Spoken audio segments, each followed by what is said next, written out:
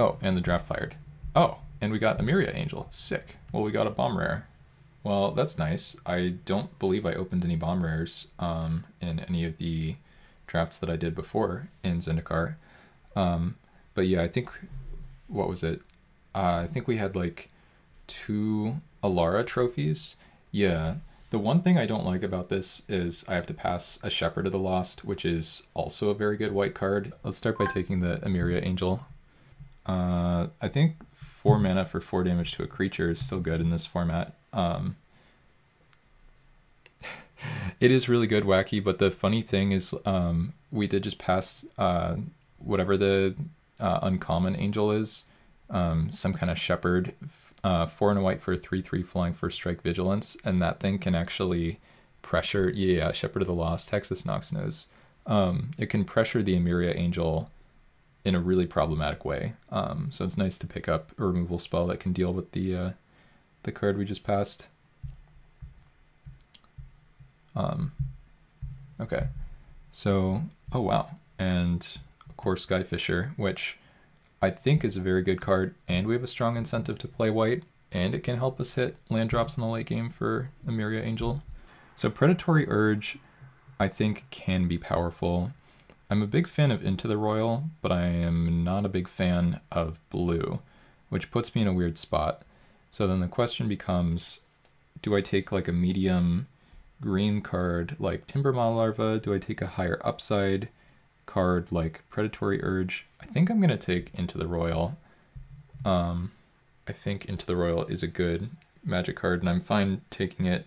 I don't have to go into blue or whatever. Like, if nothing else, this can always just be like a hate draft. Um, it's possible that I should just take like a medium green card, but if I have to play blue, then um, I'll be glad I have that into the roil, and if not, I'll be glad I took it away from my opponents.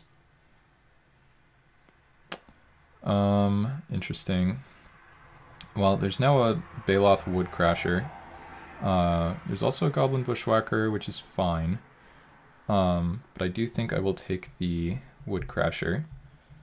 Um, so I'm missing potentially a Predatory Urge, but I don't think that card's amazing. But, uh, let me reread it actually, because there's a good chance that I would actually want it.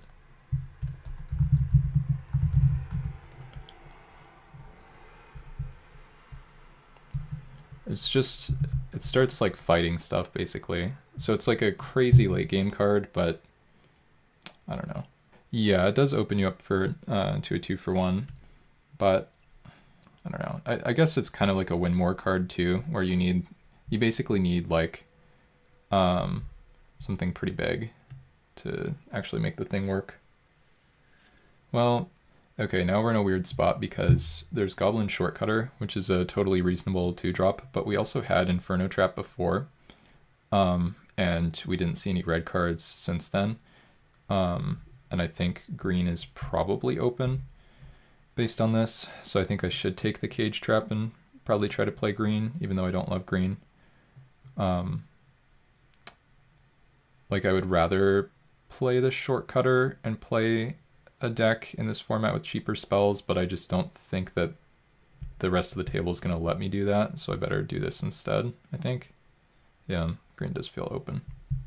I still have yet to see anyone actually get the trap cost on the Baloth Cage Trap, um, but I think if it happens, you probably just win the game. One nice thing about Inferno Trap 2 is we could actually splash this guy. Um, like if we end up with one of the uncommon dual lands, or if we end up with Harrow. Hmm, this pack is bad. I think we're going to take Makindi Shieldmate. I know this is a card Cooper likes, um, but it's also just like a random creature that blocks, like 3 mana 1 4 blocker in this deck, I think is actually pretty good. We are, uh, remember, strongly incentivized to end up white, so I think we're fine to uh, force white to some extent here, but the rest of the pack is also just pretty bad, I think. Like this might just be the best card anyway. So, hmm, I think I should probably take, let's see. This is weird because I don't think red has been super open. Um, and I do think Savage Silhouette is playable. And I actually had a deck with like three of them or whatever, which it felt like that was way too many. But Um, I think I still need to take Spire Barrage here. Um, one of the things about red not being particularly open this pack is that it could be more open in the next pack. Um, if nothing else, it's a good hate draft. We never need three Savage Silhouettes, I can say from experience. So um, I think it's fine to pass one here, for instance. Um, and then I could now take Expedition Map, which is a card I do like, and uh, if we end up like Selesnya splashing red for Inferno Trap, then Expedition Map helps. Otherwise, there's Zektar Shrine Expedition as just a card that's going to try to like burn the opponent for 7. Um, and I do think it's like playable. I also think the Forest Walk guy is playable, but I think the map is more important. I don't, I hate how it beeps at me like that.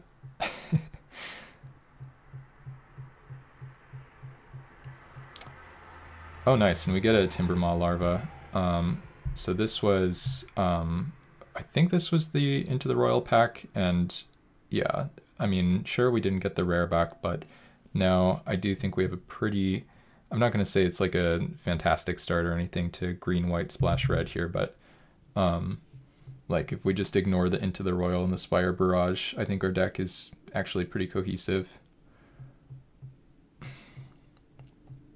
and we're just gonna at that point be worried about like um, nice and this time well do we want yeah I think we want the Savage Silhouette at this point the Goblin Warpaint is a nice aggressive card can beat people down um, but like I do think Savage Silhouette is pretty strong I don't even know if there are any removal spells um, oh, okay good to know about the first Into the Roil, thanks yeah I'm it's kind of it's always a relief to see that um I don't care if somebody gets a Teetering Peaks, that's fine. We'll take a marginally playable card that's also white for signaling purposes here in Narrow Escape.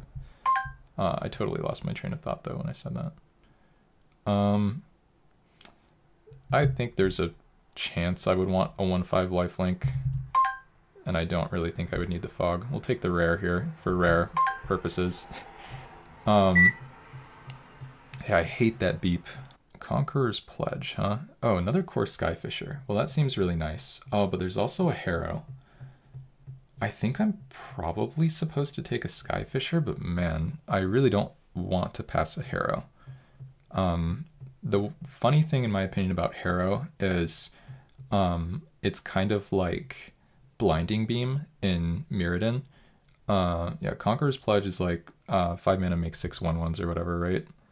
Um, the yeah so it's kind of like blinding beam where it's like it's definitely a good like non-creature card the harrow is right but i think just like in mirrodin um in zendikar it's like really important to pick up like the quality creatures and Kor Skyfisher very much is one of those.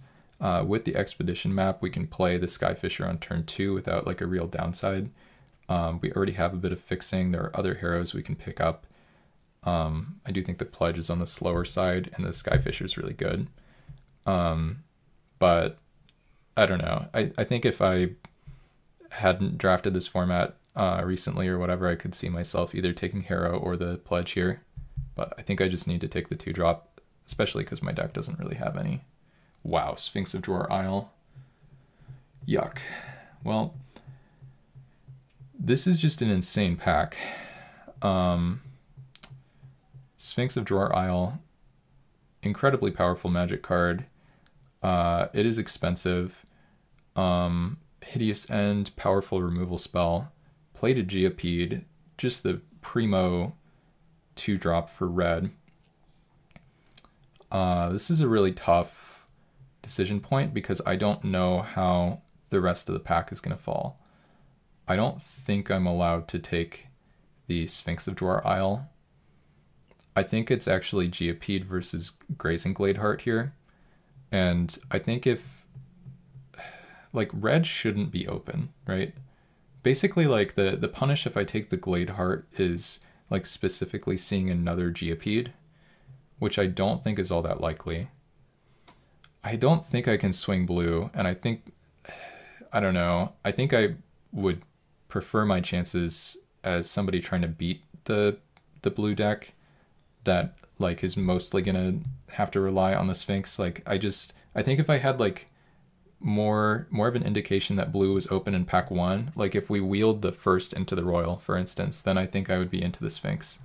But I don't think I'm allowed to do that. So for me, it's really a question of whether I can take the Geopede and expect red to be open. I think the Gladehart is really important though. I think this card's really good. Um, and we don't actually have any three drops yet other than the shield mate. Oh, it just auto picked it. Uh, well. uh, well, the thing about Into the Roil, J. Is that um, blue sucks. Well, not. I mean, it's not as straightforward as blue. It's just like Garbo or whatever. But um, blue really, it needs a lot of help. I'll just say that. yeah, I think Gladehart is fine too. It's a um, it's really nice to see a survivalist here. Yeah. Um, but yeah, there's a Geyser Glider in the pack for the red player. Uh, I need to pay a little more attention to the timer. Uh, I'm glad I got the card I wanted from that one though. Sky Ruin Drake is playable. There's another Spire Barrage. Uh, but Survivalist is great. Uh, we have the Shield Mate as another ally. We can bounce the Shield Mate to re-trigger the Survivalist with the Skyfishers. Um, I think we're we're in the right deck for our seat. Um, but we'll we'll see. Uh, and another grazing gladehart. I think that's probably what I'm supposed to take. There's still a predatory urge going around. Um, but I think I'm pretty happy with the glade heart. Uh, there's also another sky Skyruin Drake. Um, but at this point, I think Harrow would be like very, very strong because we not only have a double white card and uh, some double green cards and a red card on the splash, but also a bunch of landfall cards uh, with the Gladeharts. I don't expect to wheel a Harrow or anything, but... Um, oh, interesting. Now we have a Frontier Guide, which... It's not exactly a Harrow, but it does do kind of an impression of that. Timbermaw Larva is good too, but I think I actually need to take this Frontier Guide. Um, it's a 2-drop, so I can play this on turn 2 and then play Skyfisher on turn 3 and bounce it. Um, it's funny because I really don't love Harrow. Like, I already passed it, right? I, I took Skyfisher over it. I love cheap spells, um, but the, the really nice thing about Harrow is it does solve a lot of problems. Uh, here we'll take the Frontier Guide over the larva, basically. Interesting. Oran-Rief now. oh, and the nice thing about this is once I pick up the Oran-Rief, the expedition map uh, is more than just fixing for red if I end up splashing red, and I don't even necessarily need to end up splashing red. Um, so being able to Oran-Rief, turn my Gladeharts into 3-3s, like that kind of thing, I think is like quite solid. Hope everybody is enjoying the stream today, by the way. Oran-Rief is just, oh wow, okay. Whew. Well, this pack is, I mean, painful for us because well, I guess the Pledge is still clunky, and Harrow is just exactly what we want. If I think about, like, Seismic Shudder being in the same pack as Conqueror's Pledge, like, the Pledge feels quite a bit worse. This deck doesn't really have any way to leverage, like, kind of a go-wide strategy either. Um, I, I think I should just be happy about the Harrow, but it does feel weird to pass an on-color rare like this. I think I want... Do I want a Puma here? I could take an Ondu Cleric. Or I could just hate draft something. I don't think so, because I don't think I'm gaining a ton of life in this deck. And Puma can, like, attack and block more easily. It can also slot into somebody else's deck more easily. Um, I think the Ox is a totally playable card. This is a pretty late Spire Barrage, but um, the second O3. Um, I don't remember where that one was, but yeah, I think I think it's fine to take the Ox here. Blue's definitely been open. Um, okay, Cobra Trap now. So this, I think this is a much more reasonable option than Conqueror's Pledge. I mean, once again, I don't think the trap cost is very likely to happen, but at least at instant speed, the 1-1s um, can, you know, do a little bit more, and it's very possible that uh, two generic and triple white is just as uh, reasonable for us as this cost. Wow, and we get another Timbermaw Larva, which is quite good, I think. So, what are we missing with this deck? Missing like some pump spells for sure. We'll take another Ox, though at this point we might not have to play either of them, which would be nice. Yeah, definitely missing some pump spells, so maybe like a Groundswell or something would be nice. Missing some removal too, and white is not actually particularly open here, I think. So we'll see how pack 3 falls for us. Uh, but the good news is green, I think, is open. If we pick up like a random red removal or something, I don't know. I mean, we'll see what happens here. Cunning Sparkmage, is that worth splashing? I think it probably is. And we do have the fixing for red. I think there are a lot of guys that die to Cunning Sparkmage, and otherwise there's very little going on in this pack for us. Um, like this pack is actually just horrible for us. Good black cards in the pack though. Swarm is fine. Crawler I think is good. Nemesis Trap I think is pretty reasonable. So we'll take the Pinger. Yeah, Creeper is a 2-3 Vigilance. Ooh, interesting. So I think I'm probably supposed to take Fledgling Griffin, hoping to wheel pretty much any of the green cards. Um, number of allies you control. So it turns a land, you know, at the base rate into a 1-1. I don't think we have enough allies to really expect to do anything crazy with the Animist. And I do think Fledgling Griffin is just a totally solid card in the format the goal for me is that like we wheel like the groundswell from this pack. That would be something I'd be happy with. I'm not expecting to wheel like a Lightkeeper of Emeria or whatever.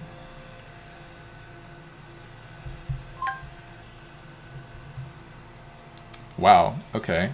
Well, we are getting rewarded for cutting white. I mean, 5 mana, 3-4 flyer is not amazing in this format, but um, it is a good card. There's a Loam Lion that could potentially wheel, though it's not super likely to. There's a Searing Blaze still in the pack, which is not great, but I think I just have to take this Archon. If the Loam Lion, like if we, if we pick up a Loam Lion, then, you know, that's just amazing for us, but I think we have to take the rare. Um, again, Searing Blaze would be very, very good. Um, Kitesail, uh, I guess is getting worse by the minute for the stack as we pick up more flyers, but um, happy happy with the Archon if I can draft it here. There we go. Yeah, I would love a Loam Lion if possible, um, but um, I mean, if impossible, I would love it all the same.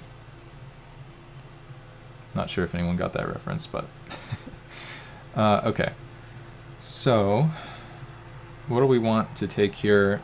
I don't think a card from this pack is ever going to make our deck. I mean, there's a Leatherback Baloth, but the question is, how tough is it for us to put the Baloth into play? And it seems like it's quite difficult, short of having like a Harrow or something. Um, we don't really have any other mana fixing or anything other than the map. Would I ever just take the Baloth? I, I guess I could. Um, depending on like what happens in deck building or whatever, like if I'm casting this guy, even for like 5 mana, it's probably still good. Obviously, it's way better. Yeah, I, I don't know. Personally, I'm not a big fan of Explore. I kind of just don't think it does anything.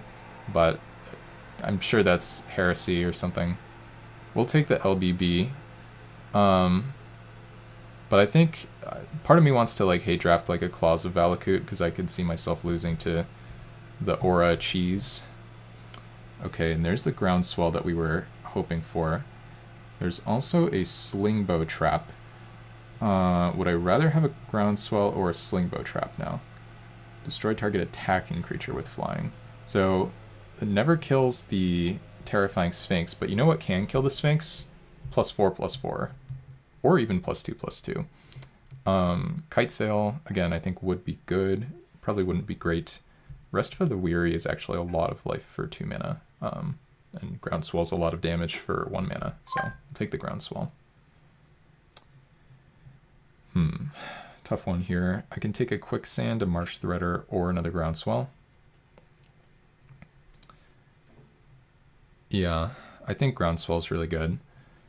Um, so Quicksand is a nice interactive card, but if I'm trying to play a triple green card, I might not be able to swing it. Um, I kind of think I want the Marsh Threader though. Like, I'm not even positive I want to main deck this card, but in general, I, I do think it's just good to have a bunch of cheap cards in your deck.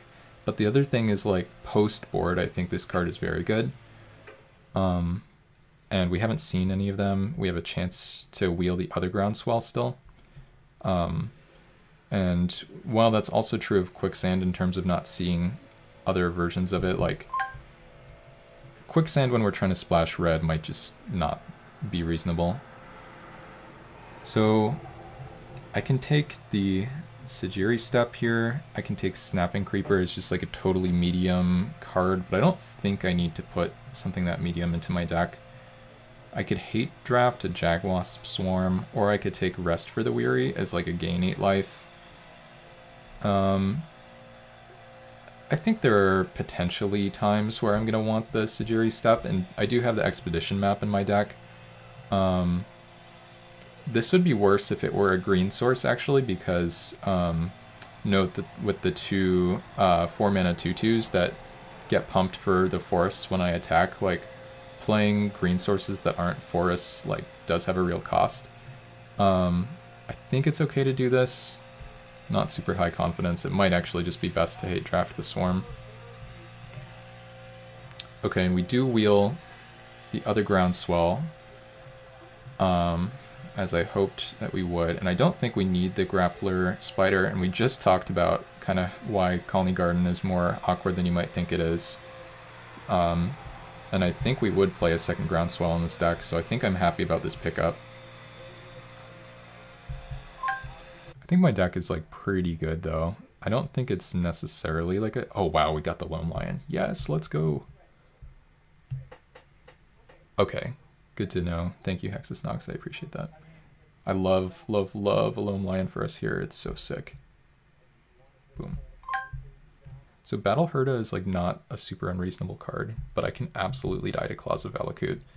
I think the auras in this format have a much easier time cheesing people out than you would expect. Um, and for that reason, I'm even considering running my um, uh, aura that I picked up in pack one. Do I want Slingbow Trap or do I want Rest for the Weary? I think the random sideboard card is more important than the life gain card, even though it is narrower this could be a mistake. Uh, but it does say a black creature. Uh, you know what? I'm going to change my mind here and take the rest for the weary. I think Slingbow Trap is very clunky. Very late Lavaclaw Reaches. Yeah. I, if it said blue instead of black, I would have taken it because there are a bunch of blue creatures with flying in this format, but I don't know, I just four mana to destroy an attacking creature with flying. Like, it's just so specific. But we do get punished here as we get another Rest for the Weary anyway. Yeah.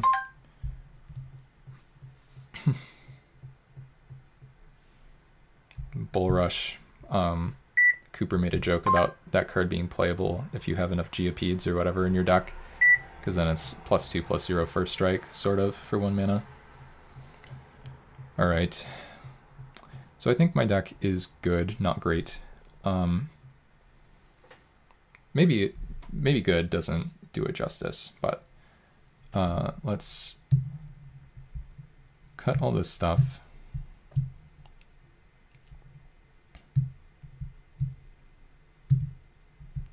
Sort by color.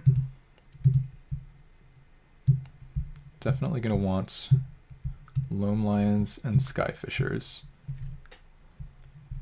Gonna want Gladeharts.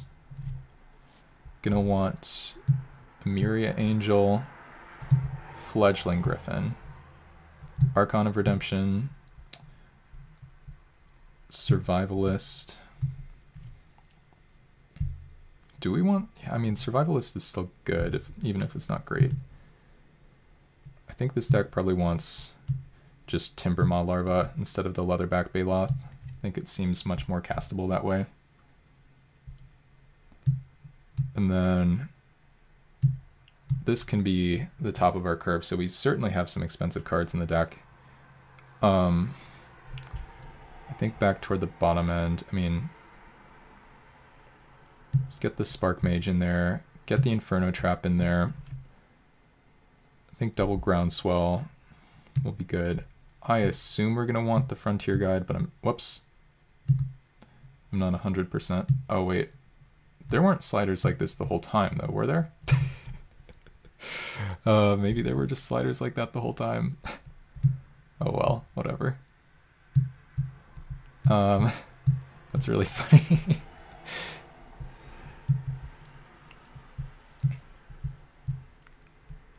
yeah. Okay, so what are we looking at for the last cards for the deck? Um, I don't think the Puma is really doing anything special for me. I think Marsh Threader, Frontier Guide, Groundswell, Savage Silhouette are the main cards I'm interested in, with Shieldmate, the first Ox, Puma all being behind. So let's put let's put another groundswell in. I think we do want these two drops. I think the groundswells are really important. And how do I want to do this? I could just play like a shield mate. Yeah, narrow escape is aptly named. It is certainly narrow. Um, yeah, I'm trying to figure out whether I want to count map as a land. Um, I mean, Stonework Puma is basically a 2-2 vanilla with the exception of the Survivalist. Does that mean that I want to play the Shieldmate so the Survivalist does a little more? I assume I have no allies in here, right? I don't see any allies. Um, I guess it's like Silhouette versus Shieldmate.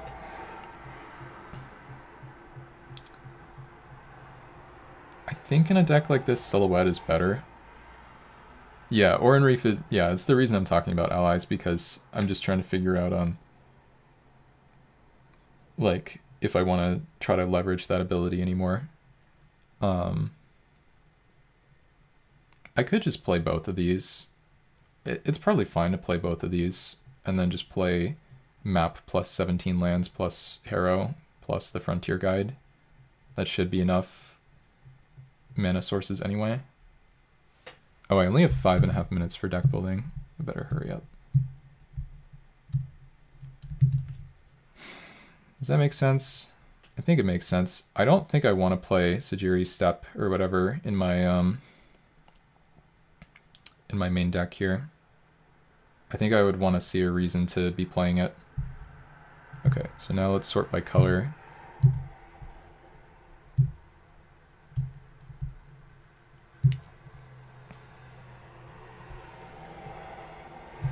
Yeah, the the one thing, the only thing I'm not sure about here is um, I might want one more land, if anything, which is a very common theme in um, in Zendikar, but um, and then how many mountains do I want in this deck?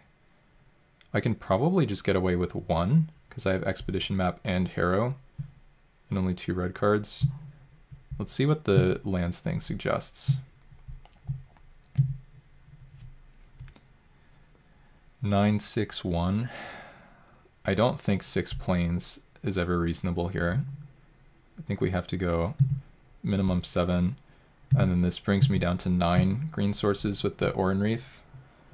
Um, I think I think the green land is still good. Yeah, I think basically I think playing Gladeharts um, as three threes um, is like a pretty big deal. Uh, playing the Oran-Rief as a three three as well.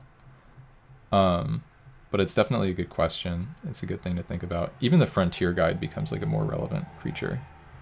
Um, okay, so eight seven one. Does that make sense? Oh, I guess I have Frontier Guide as red fixing too. I think I'm in for 871. Not counting the Oran-Rief and the Expedition map. Glad I didn't take that triple white card. That would have been bad.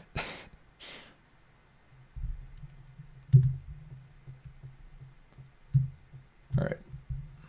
I think there are a lot of X ones in the format, and like blowing up the opponent's like plated Geopede or whatever with your Sparkmage is like really sick. But uh, I don't know. I mean, it's all. We'll just see how it goes.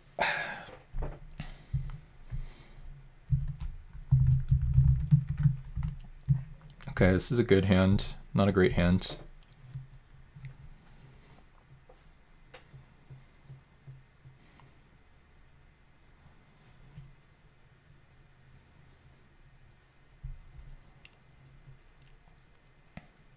but yeah, some super super close and interesting decisions in deck building, uh, and I'm not I'm not high confidence about almost any of that stuff. Okay, so my turn. Kraken hatchling. Okay, two main step. Well, we will play the one that can gain flying.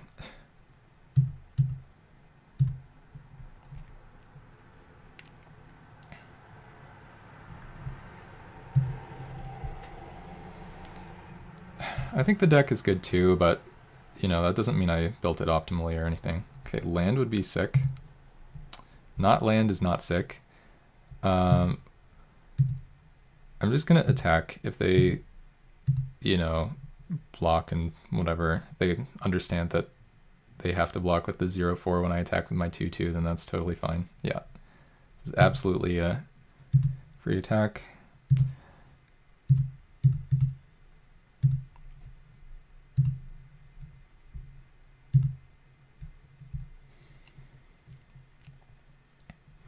Okay, still not doing anything. Land? There we go. Ding ding. So I think this time I'm just going to attack with the one that has flying.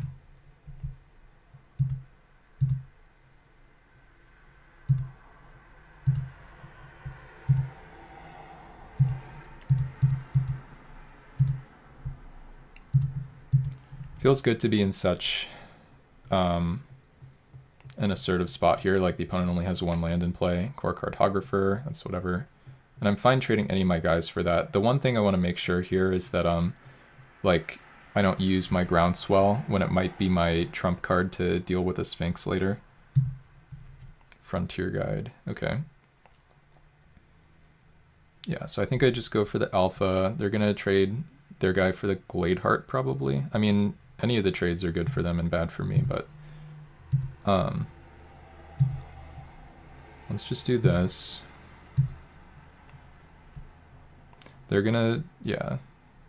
If they trade for the Oran-Rief, yeah, I mean, them them trading for either of these I think is good for me. The one I don't want them to trade for is the one that they didn't block, the Flyer. Then we'll play another Gladehart. And pass. And see if they have the Sphinx. Wait, they're just passing? I thought for sure they would have the Sphinx here. Well, that makes life a little easier for me. I don't really know what the flash cards are. I know we have one of the scariest flash cards here, but I think we just get to make this attack not be too worried about what's going on here. into the roil. Yeah, I really don't mind that, I think. They're just going to take two damage. And then we should be in great shape if we ever find land. We can always just get the Frontier Guide online later. Kor Duelist, I really don't care about that guy. Well, another groundswell is good and bad. we'll do this.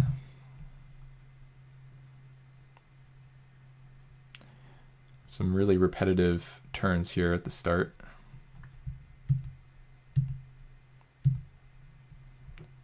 and let's not cast our groundswell for no reason. We'll now get the Frontier Guide online, and then um,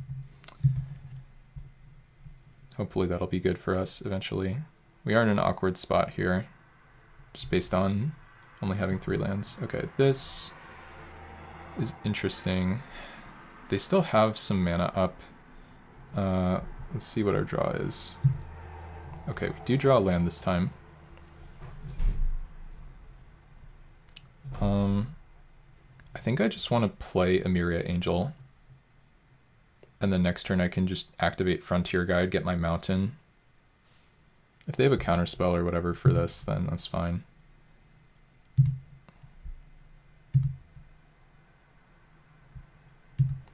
Gain my life, thank you very much.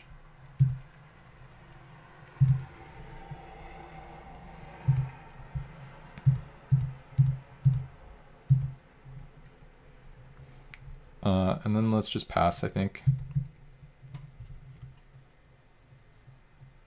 Yeah, and sure enough, they do have the Sphinx, but fortunately, we planned for this exact situation.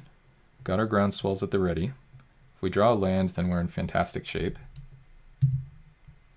Did not draw a land, but we also didn't need to, because now we can go Savage Silhouette here.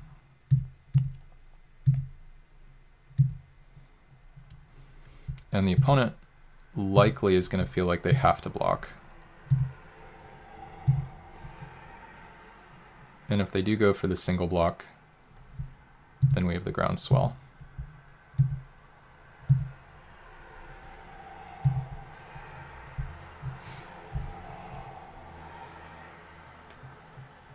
All right, and the opponent says GG. And so it turns out all you need to beat the Sphinx is just some pump spells and auras. Um, still a very awkward draw.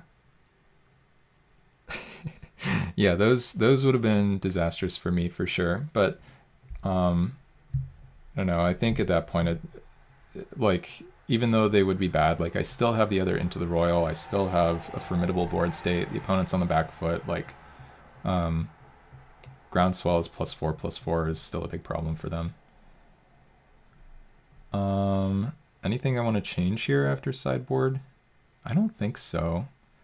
The only thing I can think of would be playing another land, but it's not like we drew the Shieldmate and really wished it was a land in that game or whatever. We also only have like one data point in that regard. I don't know. I think it's okay to run it back.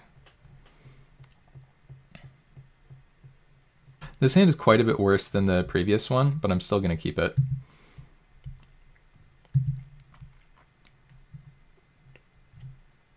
Hmm. This Zendikon is a problem for me, I think. Okay, let's play Oran-Rief. And let's pass.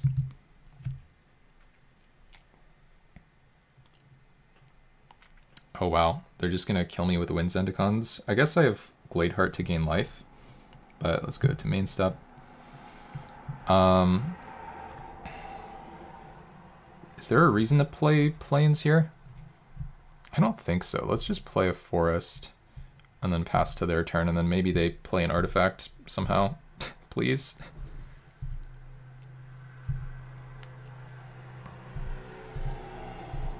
Uh, they're just gonna beat me down. Okay.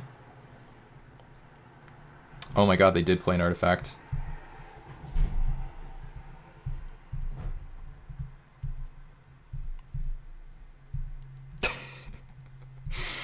Oh my gosh. gosh.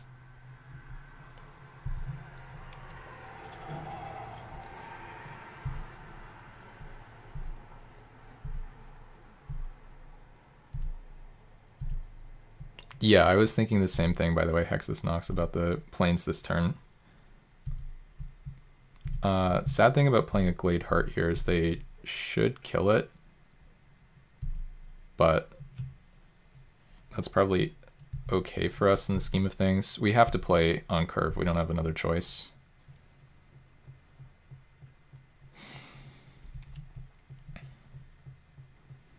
And if they tap this and shoot the Gladehart, they do miss some damage as a result. We really, really needed that um that beast token. Okay. This is annoying. Let's see if they go for the Blazing Torch. Oh, it looks like they're not going to. Well, that's really good for me. Can't block. I don't know why it's telling me that I could. They should now equip the hatchling. And I think the funny thing here, I think we actually have to use the groundswell to kill the hatchling. Well, maybe that doesn't make sense. Okay, let's go to main step. And then, okay, let's start by playing forest. We definitely want forest in play. Done. Yes. And then let's think about let's think about this turn because this turn's a little more interesting than probably the rest of the match. So we can I guess I don't really care if the Kraken hatchling dies. Um hmm. Yeah, you know what? I don't think there can't be a world where it's correct to go for the groundswell. I think I just have to attack. And then the best case scenario thing is that the opponent goes for the blazing torch on my turn, but they shouldn't do that. But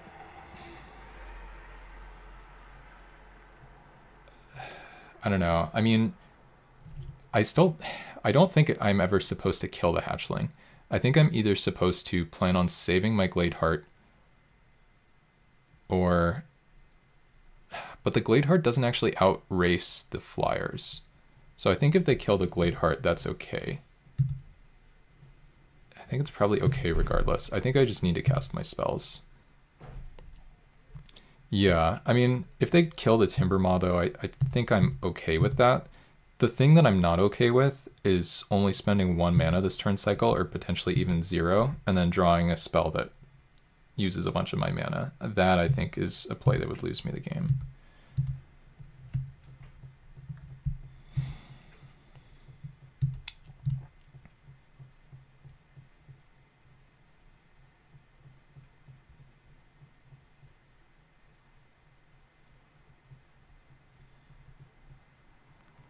Okay, opponent's going to continue attacking.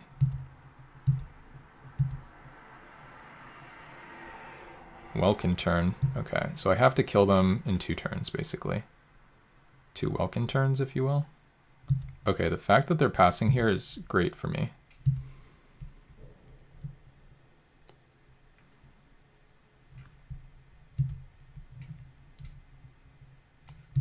Yeah, this should be pretty painful for them.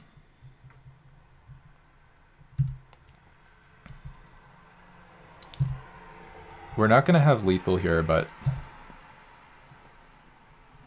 Two, four, six. Yeah, okay. The opponent can't kill me either.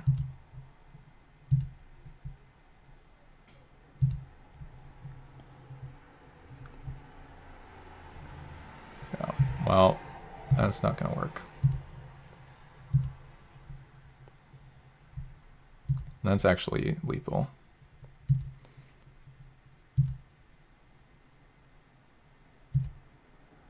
All right. Whew. Choose myself to play first. Get rid of this. Uh, this hand is not amazing, but I do think it's a keep.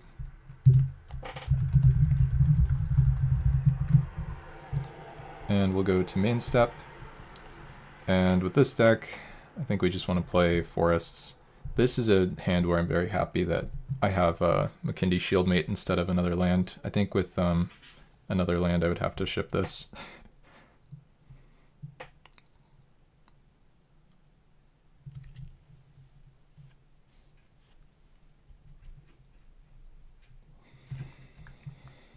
Teetering Peaks, okay. It's a groundswell, sure.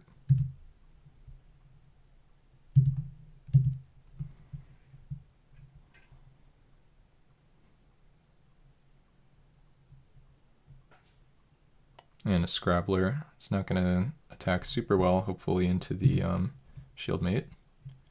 There's an Oran-Rief, a little late to the party, but not the worst.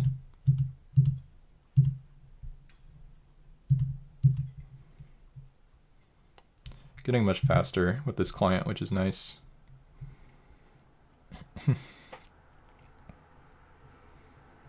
Interesting.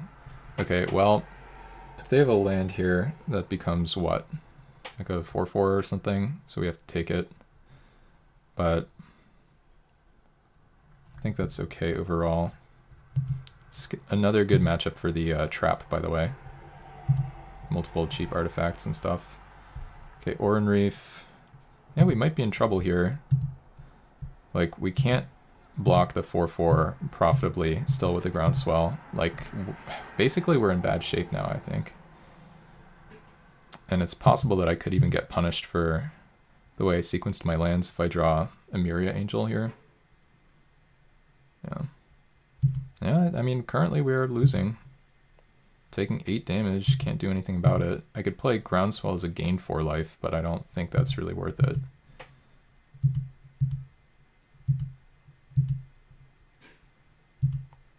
Weirdly, the opponent just has nothing. I mean, I've weirdly had nothing as well, so maybe it's not actually that weird. Um, I think I now have to bounce my Shieldmate, which is very awkward, but I don't think I can afford to go back on land drops here.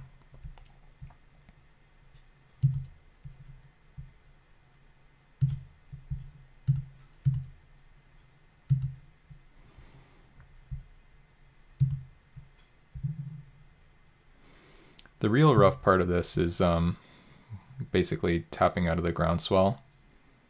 But the opponent has a bunch of mana up and the Skyfisher might just die.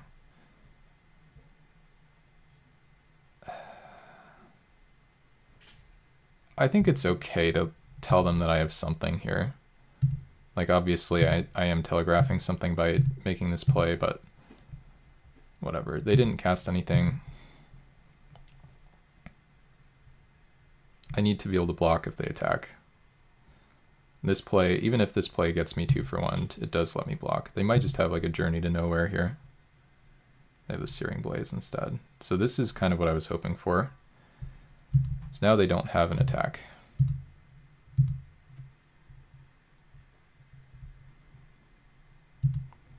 Still take three damage though. Let's see what their play is now.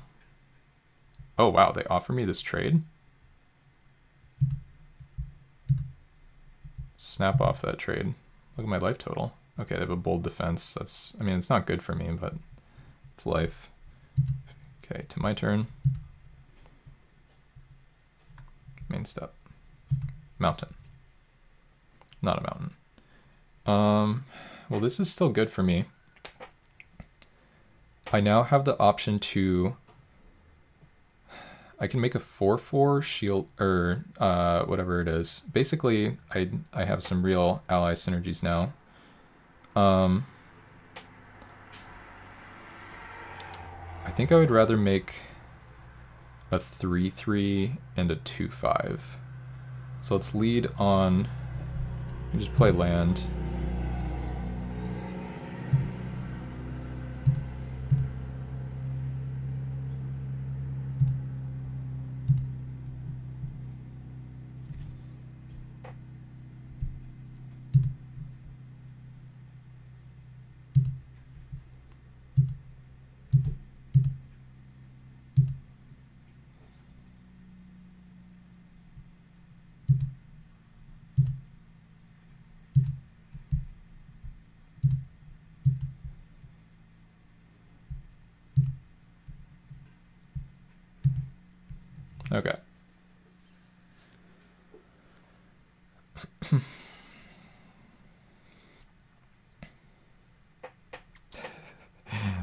Thanks, Good to see you, by the way.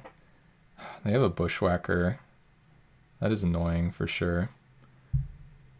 And they have a Windborne charge, so I'm actually just dead, I think, now.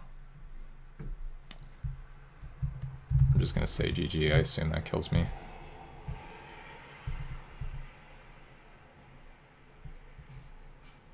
Yeah, okay. That was a lot of damage. Okay, well, don't want to die to this opponent. I would rather survive, if that's an option. I don't think this is like a terrible matchup or anything. Um, I'm a little bit interested in like a narrow escape. Um,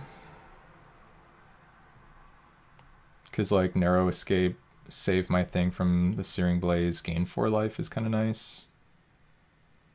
But I don't actually think that I should change anything. I think we just need a bit of a better draw than that. And the Cunning Sparkmage should be very good against them. Yeah, I mean, we might just die here. It's definitely a possibility. It's hard to beat a Boros deck. So options are like Rest for the Wearies and Narrow Escape, maybe a Pillarfield Ox. I'm just going to try it again.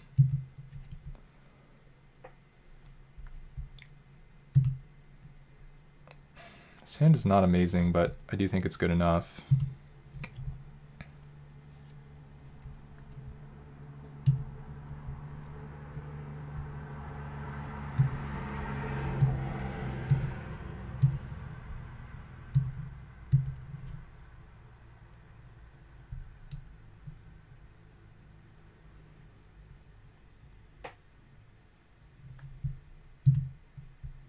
Well, drawing land does not improve anything for us, sadly. Probably didn't need to telegraph that I have no pump spell by auto passing there, but I don't know, they only had one white mana, so they weren't doing anything anyway. Do I have to keep drawing lands every turn? um,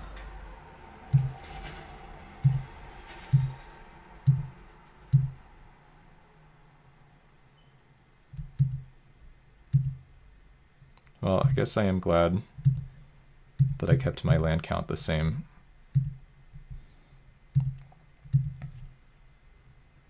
More land, more life. I don't think so, sadly. I think they're just going to have like... Well, at least they didn't have Mountain Searing Blaze, whatever. Or, I mean, they could have had the equipment again, which would just be busted. Adventuring gear. And they have the Journey, though. That's pretty brutal. Am I now supposed to try to block with the Loam Lion?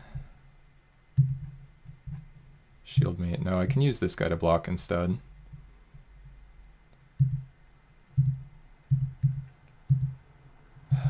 This is going to be, I can just already tell this is going to be frustrating. Like, we've already just drawn so many lands, and I don't know, like, we're just going to die.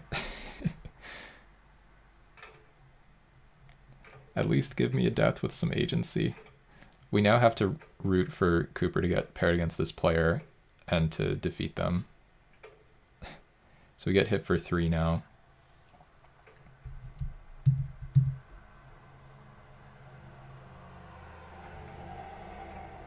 And that guy, which doesn't matter.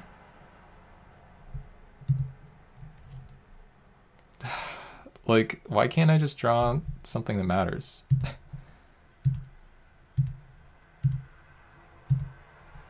This is kind of absurdly few spells. I mean, I guess I kept a five-lander, but I've drawn three lands and one spell, which is not great. Yeah. And a Hookmaster on the Shieldmate hit me for five. Yeah, I mean, this is just over, right? Now I have to leave the Loam Lion back, and they're going to have more spells, and I'm going to die. Uh, okay. Come on. Uh, well, I could tell this was going to be frustrating, but I didn't really understand what I was looking at here.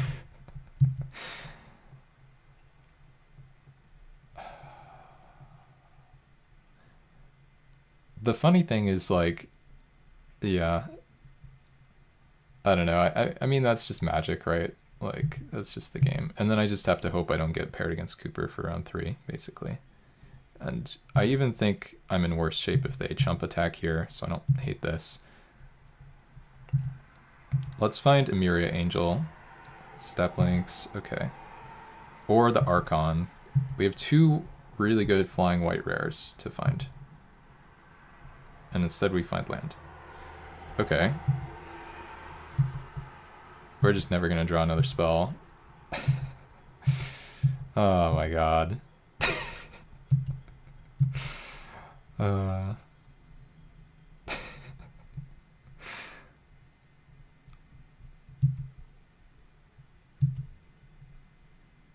and they have the Searing Blaze.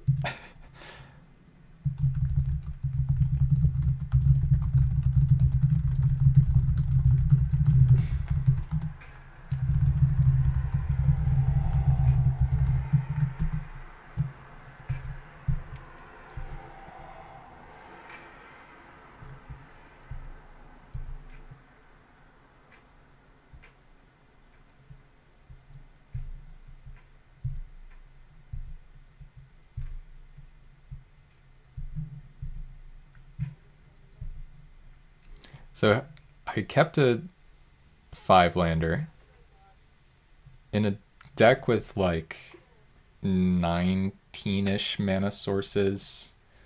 So maybe that's just already asking for trouble, but like, I don't know. Even like Harrow is nice or Expedition Map. Like, both of those cards at least thin the deck, get more relevant lands into play, or at least they can. And we're paired against Cooper. Oh, whatever. All right. Well, this hand's good.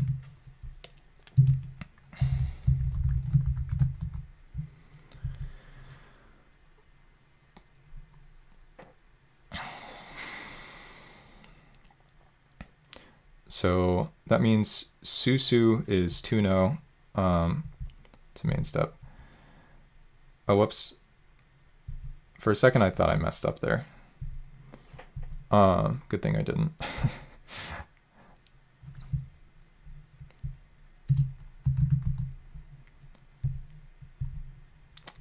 nice. Yeah, this should be good for us.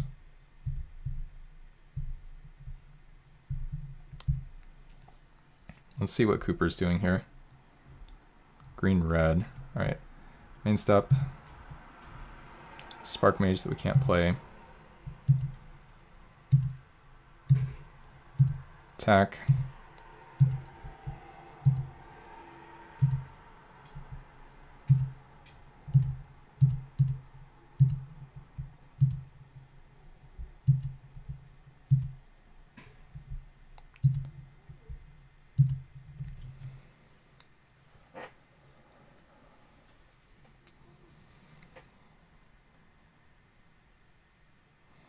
All right, we have a 2-2 flyer sort of in a 3-3 versus Cooper's empty board, so hopefully we're in good shape. We might see a survivalist from him too. Okay, just plays a 1-1.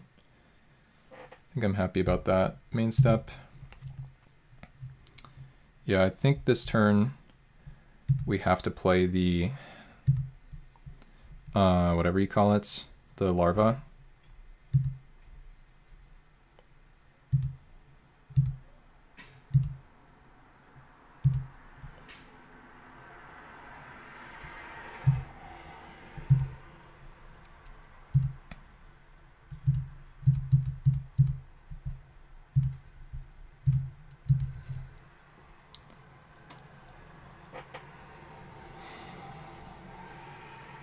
Okay, so there's a hill giant, and we can make a land into a 2-2, but it doesn't untap the land or anything. Main step. Okay.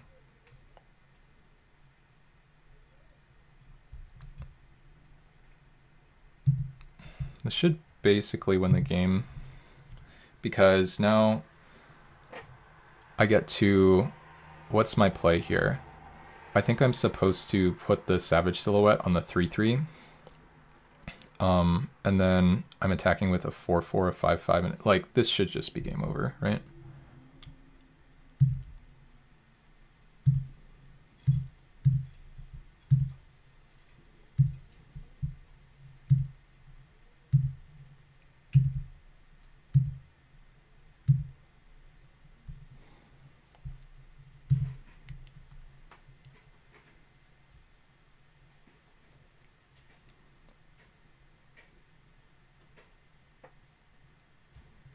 Chumping the 5-5? I guess that makes sense. So we still take 6.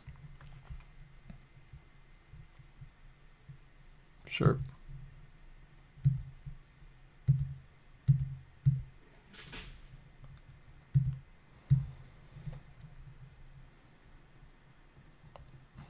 There's not really a card that gets Cooper out of this, though.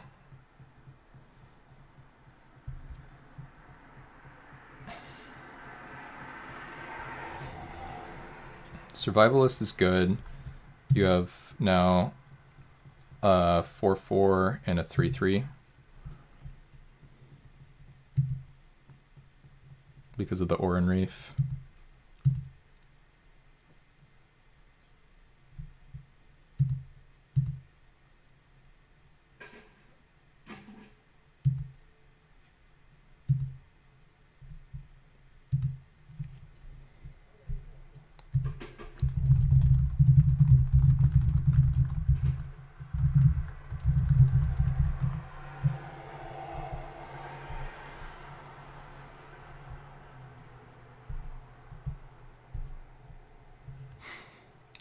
Okay. So I think because Cooper didn't use the Oran-Rief, basically there's a um, a plus two plus two here or whatever. So we're just gonna attack with the Griffin, uh, which has flying, and the Oran-Rief. Um,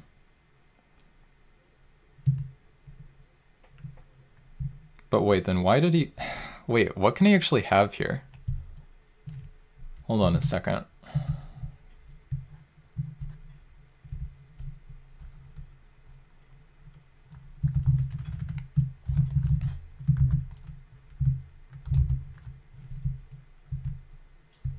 Punishing fire? Oh, yeah. Yeah, I guess you're right, Crackshot. Yeah, that's kind of what it has to be, right? Nothing else really makes sense. Yeah, alright, whatever. Let's just send him. Yeah.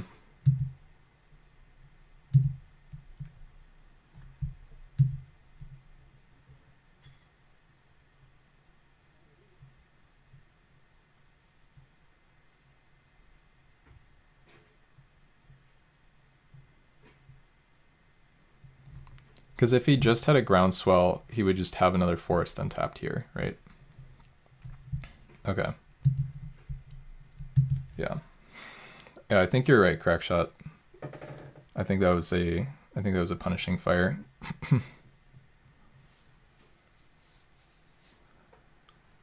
Cause it like it has to be it had to be an instant for one in a red, basically, right?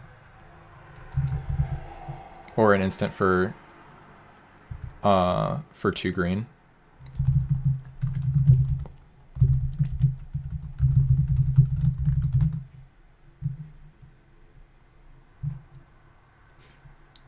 Um,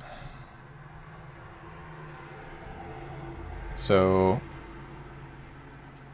wait, but no, no, no. It, it couldn't have been Vines of Vastwood. And yeah, I mean, technically it could have been Seismic Shudder, but like that doesn't actually do anything there. Um, okay, do I want to change anything against Cooper? He's playing allies does like his allies. Uh, I don't hate Leatherback Baloth in this matchup. Um,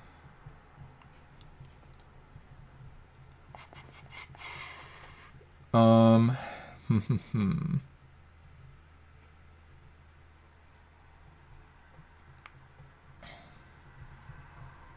Do I want Leatherback Baloth, though?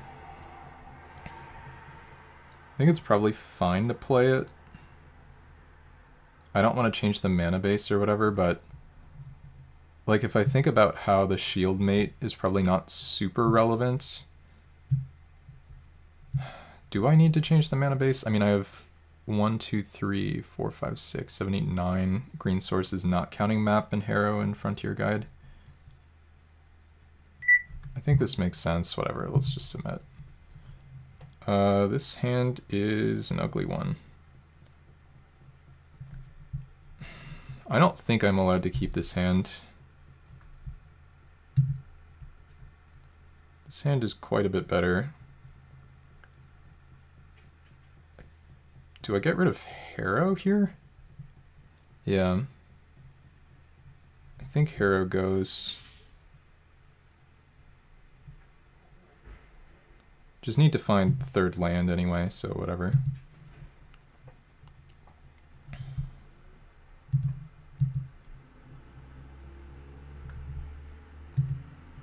There's Oran-Rief. uh, okay, let's go to your turn. And then I might not even be able to play Skyfisher here. Red, red. Kitesail. Okay, well it's good for my trap, I guess. Main step. Another Skyfisher. Do I just set myself back to Oblivion on land drops? I think I'm probably supposed to. I think it's fine.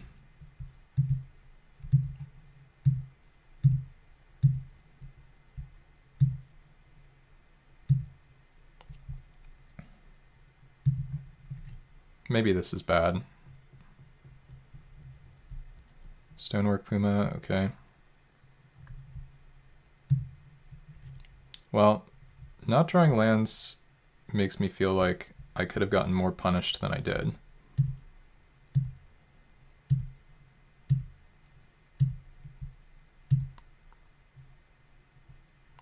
Kind of a weird draw from Cooper here.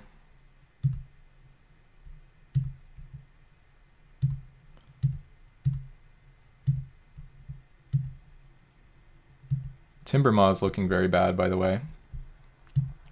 Like, not only is it 4-drop, but, I mean, I only have one forest with this hand, so... Okay, the Battle Singer, sure. Um, so you have to fly the Battle Singer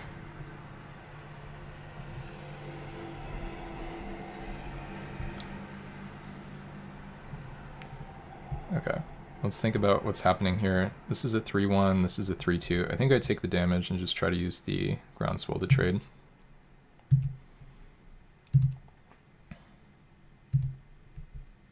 Or I can just trade with the 2-2 flyer that I just drew, or the 2-2 guy, whatever. Um, yeah, I don't really see why not. Don't think I'm supposed to be blocking, so...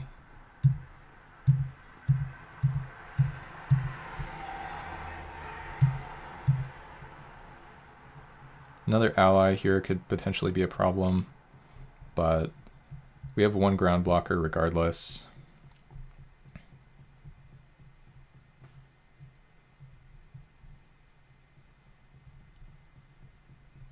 Tuktuk Scrapper. Okay, this is a May.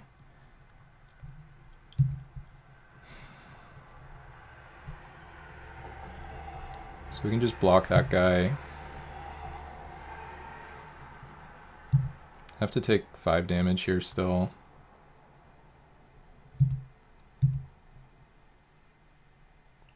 Oh, the Scrapper doesn't have haste, never mind. So we only take a couple damage. That's not too bad.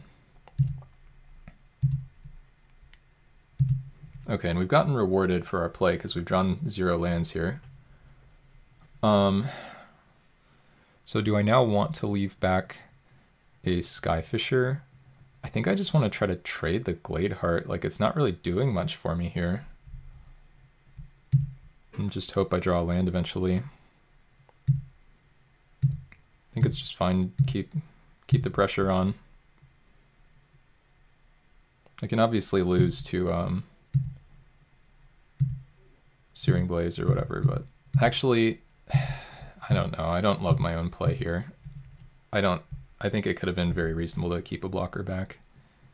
But what is this draw from Cooper? Did he board into mono red? Or does he just have like all green cards in hand? Okay, goes for this. I mean, we just snap off any block we get the chance to make.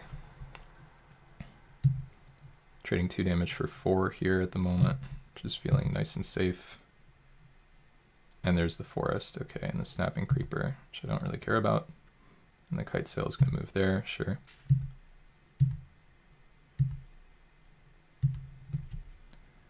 Yeah, I think I just attack with both.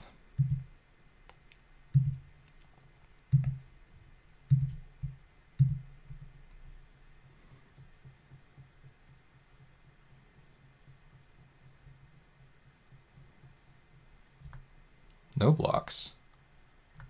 Okay. Well, that was a good read from him. I mean, my play doesn't really make sense otherwise, but now he does die to a land unless he leaves a blocker back. But I guess I can maybe die to some stuff here too. And this can gain vigilance. Uh, Oran-Rief, yeah, we might be in trouble. I want to, well, I need to find land.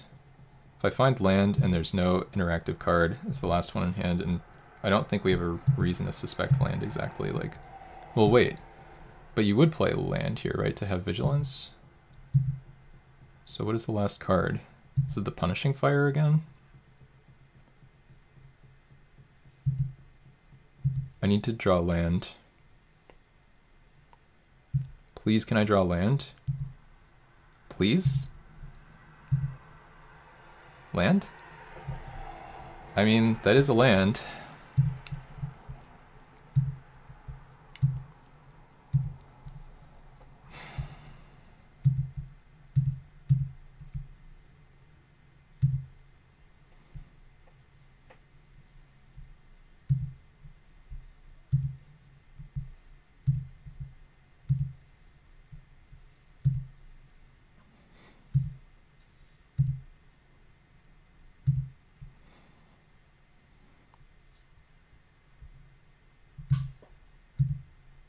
Alright, that should be game.